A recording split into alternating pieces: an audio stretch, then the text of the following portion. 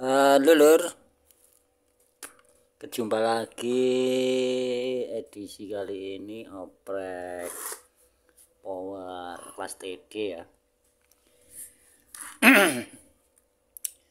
Power kelas TD ini dengan kendala tegangan standby nya itu di rel final. Ini pincang ya lur. Atau hilang sebelah. Jadi setelah dicek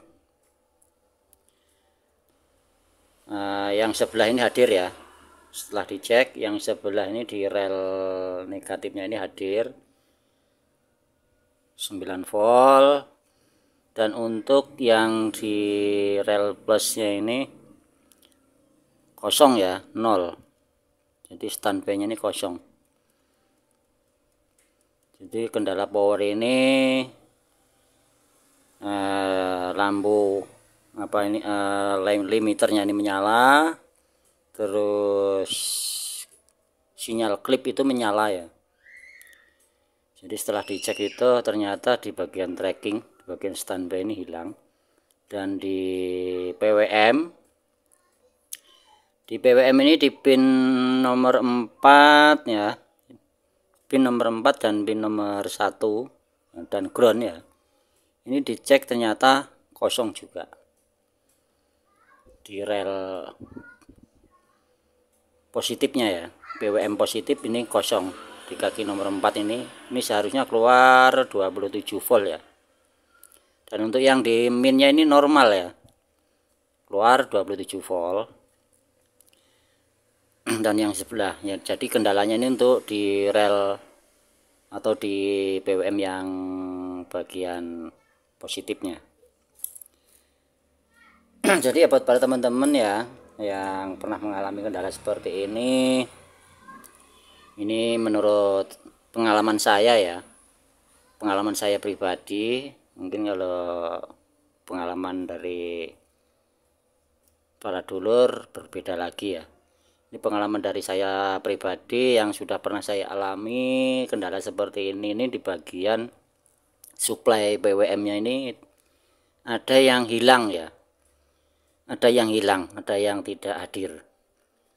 Nah yang tidak hadir yaitu di pin nomor 2 eh, nomor 4 ini tadi ya. Seharusnya ada 27 ini kosong. Nah ini penyebabnya dari mana? Kita akan telusuri ya.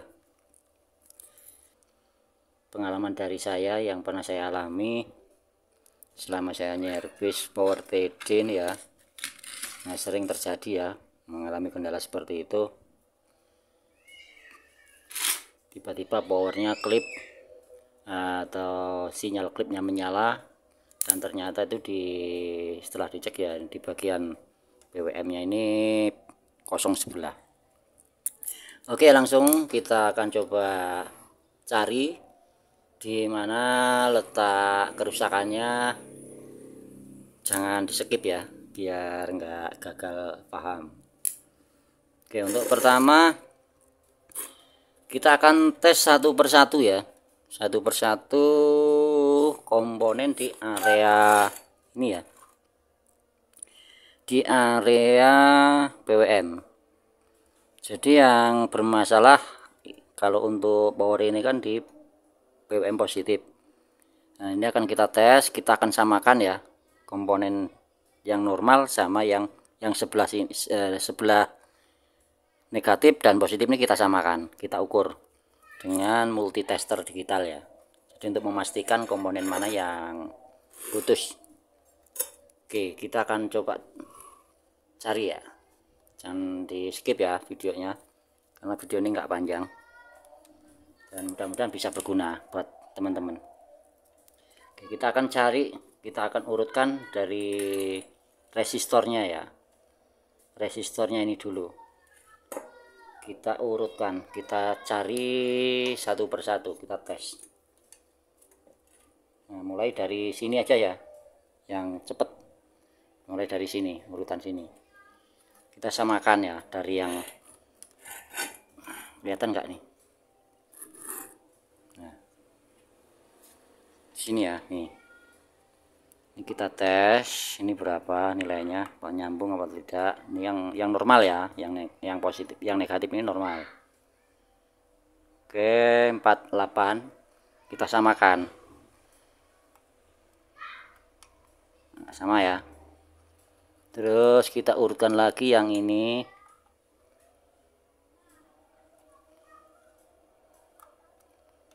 Nah sama kan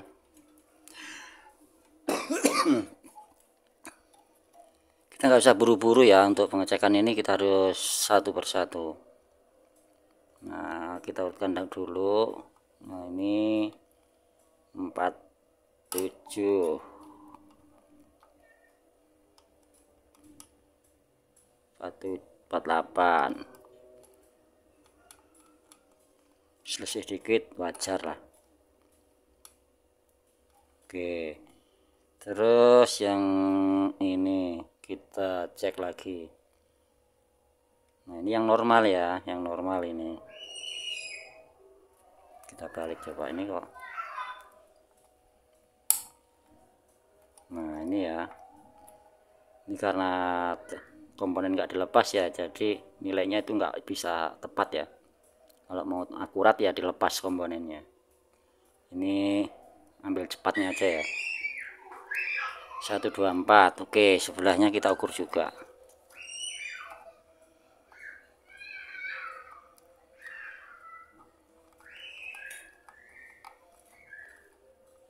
Nah ini kosong ya. Nah ini mencurigakan nih. Resistornya mencurigakan.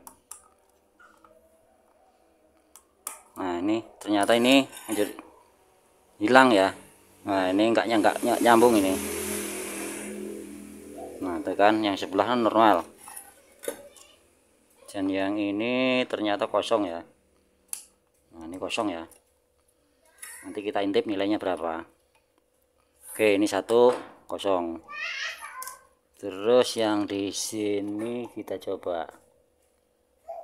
Nah nyambung.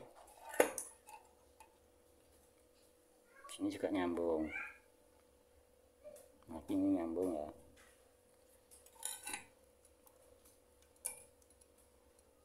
nyambung berarti satu penyakitnya ketemu ya di sini ya. Resistor ini ya. Di resistor ini ketemu satu ini ya. Ini perlu kita ganti dulu ya. Nanti untuk nilainya coba kita intip. Nilainya berapa ini? Untuk warna resistornya coklat eh, berapa ini? Eh, coklat nggak kelihatan. Agak gelap ya?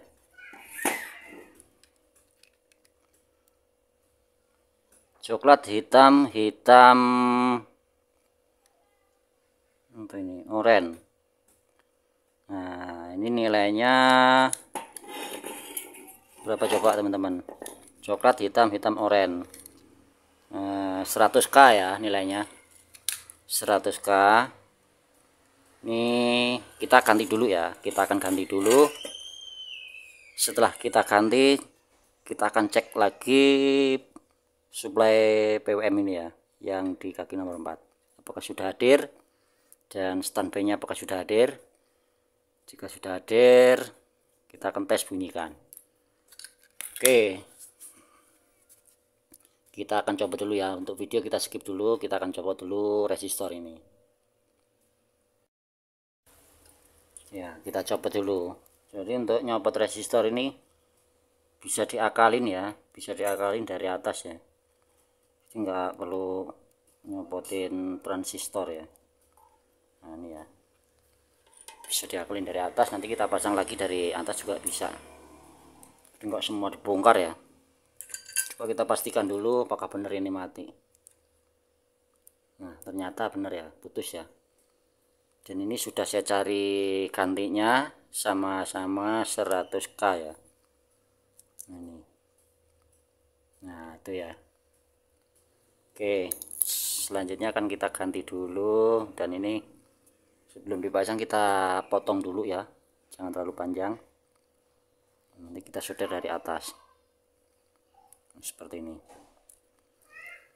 Kita bersihkan dulu untuk timahnya ini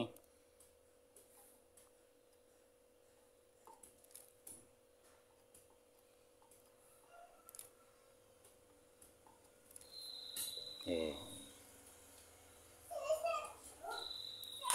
Kita pasang dulu ya. Oke, alur ini sudah kita pasang untuk resistornya. Ini ya. Kita akan tes suplainya. Kita akan tes PWM ini lagi ya. Oke. Kita tes.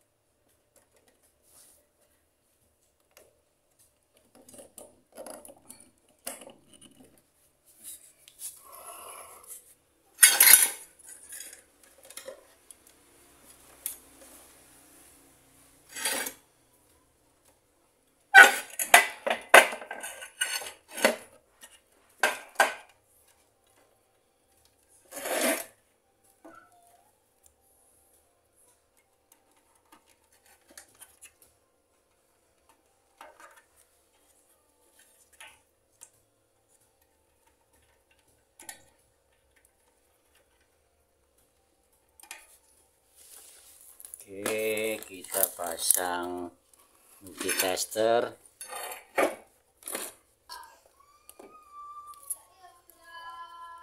Untuk standby di sini sama di sini ya. Oke, kita tes ya. Kita nyalakan.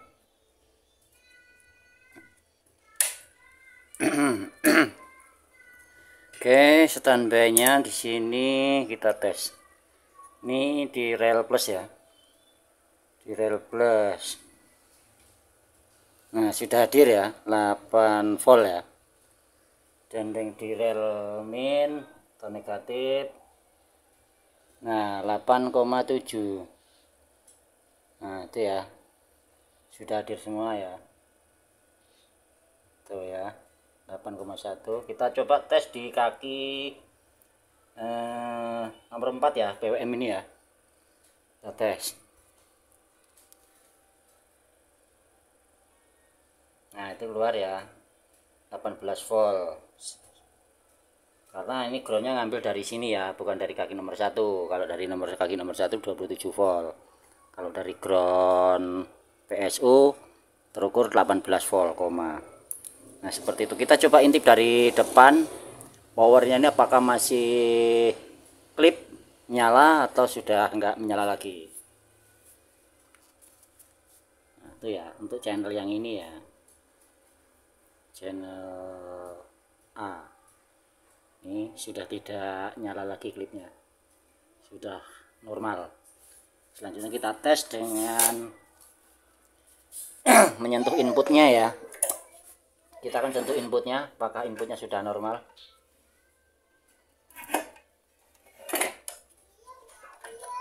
Dan ini kita pasang speakernya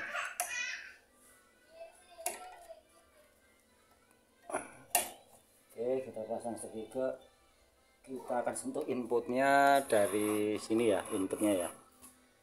Oke kita nyalakan.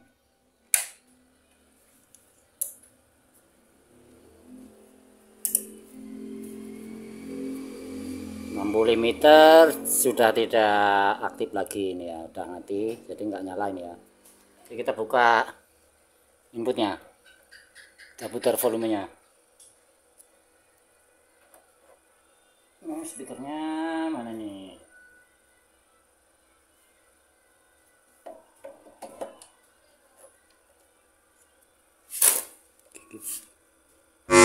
Uh nah ini ya.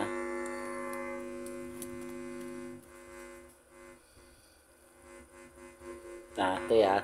Sudah menyala inputnya. Nah, sudah bunyi normal selanjutnya tinggal tes dengan musik ya. Tapi untuk video kali ini saya tidak mengetesnya dengan musik karena terkena pelanggaran hak cipta ya. Oke demikian ya. Buat dulur buat sobat. Nah, tip dari saya sedikit pengalaman dari saya yang saya bagikan semoga bisa bermanfaat. Tip servis power PD ya yang paling utama itu yaitu cek dulu tegangan di area PWM ya. Cek semua di area PWM apakah tegangannya hadir atau tegangannya ada yang melonjak. Nah, kita pastikan dulu kita normalkan dulu. Setelah itu baru kita tes. Oke seperti itu. Mudah-mudahan pengal sedikit pengalaman ini bisa bermanfaat dan bisa berguna ya sekian dulu video kali ini. Jumpa lagi nanti di video saya berikutnya. Sekian terima kasih dan sampai jumpa lagi